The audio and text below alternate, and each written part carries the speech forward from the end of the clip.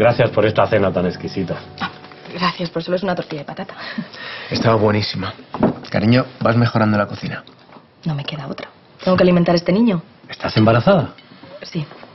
Ojalá que vuestro hijo nazca tan guapo y tan buena persona como vosotros.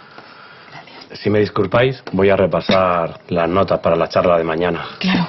Descansa. Buenas noches. Buenas noches. Hasta mañana. Un hombre interesante y muy culto. Sí, ¿verdad? Me ha dado mucha pena cuando está hablando de su familia. Debe ser tan duro tenerlos tan cerca y no poder visitarles. Sabe que no puede correr riesgos. Ya, pero aún así.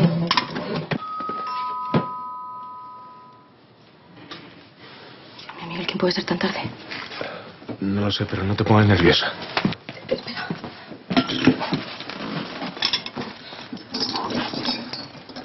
Hola, ¿qué tal, chicos? ¿Cómo estáis? Hola, hija, buenas noches. Mamá, ¿pero, pero qué hacéis aquí tan tarde? Pues, hija, es que resulta que hemos ido al cine, ¿sabes, Toma? Y de camino nos hemos encontrado con los pastelitos, los montaditos que tanto os gustan y hemos dicho, vamos a llevar. Pero mamá, no hacía falta, me los podéis haber dado mañana. Mujer que no es molestia, menuda película más descacharrante que hemos visto, maravillosa. ¿eh? Sí, bueno, matrimonio a la italiana se llama con Sofía Loren y Marcelo. Sofía Loren, Sofía Loren, Miguel, que, que sale la mujer estupenda. Ella hace de una mujer de estas de, de mala vida, pero como es Sofía Loren, pues te parece una vida cojonuda. Que sí, que sí, que hay que reconocer que sale muy resultón. Y entonces conoce a uno de sus clientes que es como su príncipe azul Bueno, este. Que ese es Marcelo Mastroianni, que Eso. no puede salir más guapo. Es que yo me ponía hasta nerviosa. Qué nervioso. ¿Tú qué nervioso te vas a poner? Si no era para tanto, Bueno, hombre. el tema. La guapa que ella. ella hace de una mujer de mala vida que se queda embarazada. Bueno, mamá, no nos cuentes la película. Mm, Que queremos ir a verla, ¿verdad? Tienes razón. Bueno, pues abre esto, abre Sí. esto, venga. Oye, Miguel. Chico, cuídanos un poquito. Un licor para compartir con los pastelillos, digo yo, ¿eh? Es lo mínimo.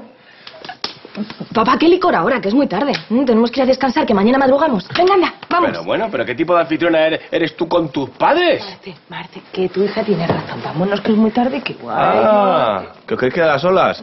Pues Miguel, no es el momento para estar jugando ahí con las flechas, ¿eh? Ya me entiendes. Marte. Hombre, es que es lo mínimo que digo yo que ahora perdón, no... hija, perdón, hija, que es que resulta que hemos estado, pues que hemos visto la luz encendida y pues... Claro.